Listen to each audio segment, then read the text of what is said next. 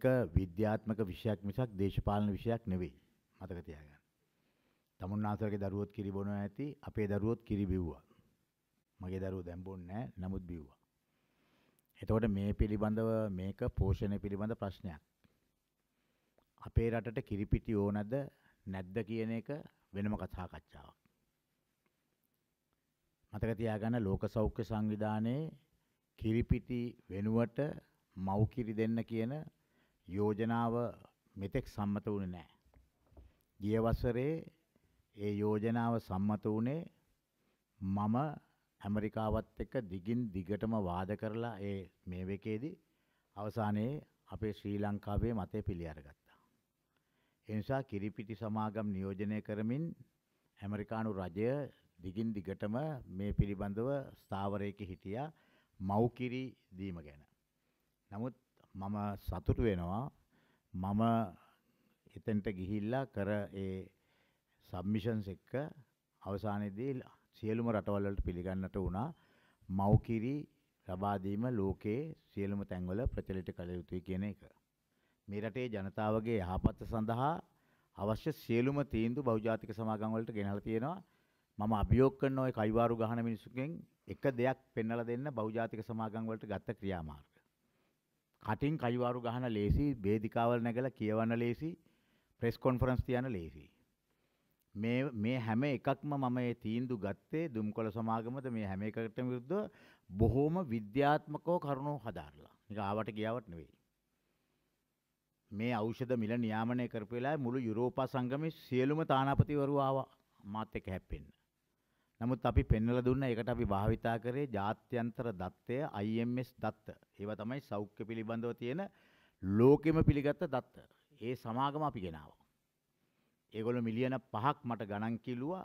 නමුත් මේකේ මං එක කතා කරාට පස්සේ මිලියන 5ම එපා කියලා සත පහක් පාවිච්චි කරන්නේ නැතුව සියලු දත්ත අපිට ලබලා දුන්නා මේ මිල පාලනය කිරීම සඳහා.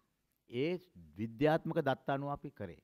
අපි මේවා පෙන්න දුන්නාම යුරෝපා සංගමය සම්පූර්ණයෙන්ම කිව්වා ඔබලා ඊට ඊට යථාර්ථවාදී ඔබ විතා විද්‍යාත්මකව මේක කළා තියෙන්නේ මිල අඩු කිරීම ඒක දේශපාලන තීන්දුවක්.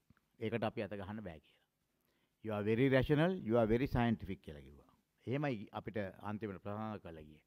කිරිපිටි ලංකාවට ගෙනවද නැද්ද කියන එක දේශපාලන තීන්දුවක්. ඒක ඕන කෙනෙකුට නවත්තත හැකියි. හැබැයි මතක තියාගන්න ලංකාවේ දියකිරි දියරකිරි නිෂ්පාදනය තියෙන 10%යි. ඒතකොට ඉතුරු 90 කොහෙන්ද හොයාගන්නේ? ඒතකොට ළමයින්ගේ පෝෂණයට සිදු වෙන්නේ මොකක්ද?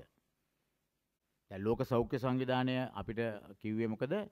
පැණිබීම සමාගම් වලට බදු ගහනකොට කිරිපිටි කිරි ආහාර ද්‍රව්‍ය පිළිබඳව ඒ ඒ ස්ථාවරයන්ව ගන්න එපා. මොකද කිරි කියන්නේ පෝෂණය දරුවන්ට. එනිසා කිරි පෝෂණයක්. සමහරු කියනවා මේ සමහර කට්ටිය කියනවා කිරි නැතුව ඉන්න පුළුවන්ලු කිරි නැතුව තියෙනවා. බොහොම හොඳයි. ඉතින් ඔය ධනපති කට්ටියට පුළුවන් චීස් තියෙනවා, බටර් තියෙනවා. ඒ කට්ටියට පුළුවන්. නමුත් දුප්පත් ගමේ මිනිහට මේකේ තියෙන්නේ කොයි එකද මේ ප්‍රෝටීන් ගන්න කොහෙන්ද කියන එක. කිරි පිටිවල අඩංගු මෙන්න මේවයි මේවයි කියන එක ඒක විද්‍යාත්මක කරුණක්.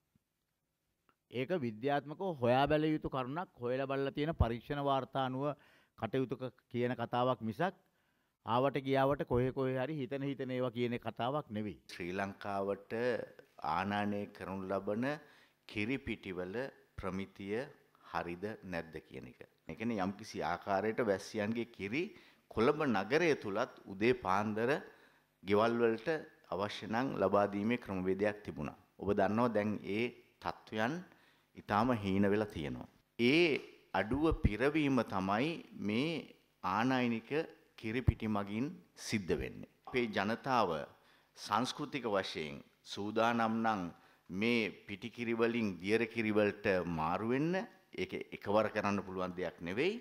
ඒක ඇත්ත වශයෙන්ම ඒක තමයි සෞඛ්‍ය අමාත්‍යාංශය අපි වඩාම කැමති දේ. කිරිපිටිවල ප්‍රමිතිය පිළිබඳ ගැටලුවක් ආවම ඒක පිළිබඳව විද්‍යාත්මක කරුණ ඔබට ජනතාවට ලබා දීම අවශ්‍ය. අපි ශ්‍රී ලංකාවේ සෞඛ්‍ය අමාත්‍යාංශය ඓතිහාසිකව විශාල වැඩ කොටසක් කරලා තියෙනවා මේ ලදරුවන්ට කිරිපිටි ලබා දීම වැළැක්වීම සඳහා. ලංකාවේ අර එක්ස්කලූසිව් බ්‍රෙස් ෆීඩිං ඒ කියන්නේ සියට සීයක් අම්මගේ කිරි දෙන ප්‍රතිශතය සියට අසුවට වැඩි. තොට මේක ලෝකෙම ඉහළ අගයක්. තොට මේක හුදෙක් ඇති වුණා නෙවෙයි එකක් අපේ මව්වරුන්ගේ සාක්ෂරතාවය සහ සෞඛ්‍ය අමාත්‍යංශය විසින් එදා ඉඳලා අද දක්වා ගෙනියන ලැබූ ප්‍රතිපත්තිය නිසා. ලදරුවන්ගේ කිරි සම්බන්ධයෙන් තිබෙනවා යම්කිසි කෝඩ් එකක් ඒ අනුව ඒ ජාත්‍යන්තර කෝඩ් එක අනුව අපි ඒ අනුසාරයෙන් කටයුතු කළ දිගටම සෞඛ්‍ය අමාත්‍යංශය ඉතාම තදින් කටයුතු කරලා තියෙනවා ඒ ලදරුවන්ට කිරිපිටි ප්‍රචාරණය කිරීම සඳහා කෙලින්ම සහ වක්‍රව ගනු ලබන විවිධ ක්‍රියාමාර්ග මගහැරීම සඳහා. උදාහරණයක් හැටියට සෞඛ්‍ය සේවකීන්ට යම්කිසි ආකාරයකින් පෝෂණය නාමයෙන් ලදරුවන් මං කියන්නේ මේ වයස අවුරුදු එක දක්වා ලදරුවන් සඳහා කිරිපිටි දීම සඳහා අපේ සෞඛ්‍ය අමාත්‍යාංශයේ ලදරුවන් බලා රැක බලා ගන්නා පෞල් සෞඛ්‍ය සේවා නිලධාරීන් ඇතුළු ඒ කණ්ඩායම් වලට යම්කිසි ආකාරයෙන් ප්‍රවර්ධන කටයුතු කරනවා නම් ඒක වළක්වලා තියෙනවා. ආනයනික කිරිපිටිවල ප්‍රමිතිය පිළිබඳ කාරණාවක්. ඉතින් මේකත් එක්ක අර මේ සම්බන්ධ වෙච්ච ආශ්‍රිත කරුණු ගත්තාම ඔබට පෙනී යනවා ඇති සෞඛ්‍ය අමාත්‍යාංශයේ ඊටාම ශක්තිමත්ව ඒ විද්‍යාත්මකව ඒ අපේගේ රටේ පෝෂණය සහ ඒ ළමයින්ගේ ජනතාවගේ අවශ්‍යතාවයන් අනුව කටයුතු කරනවා කියලා.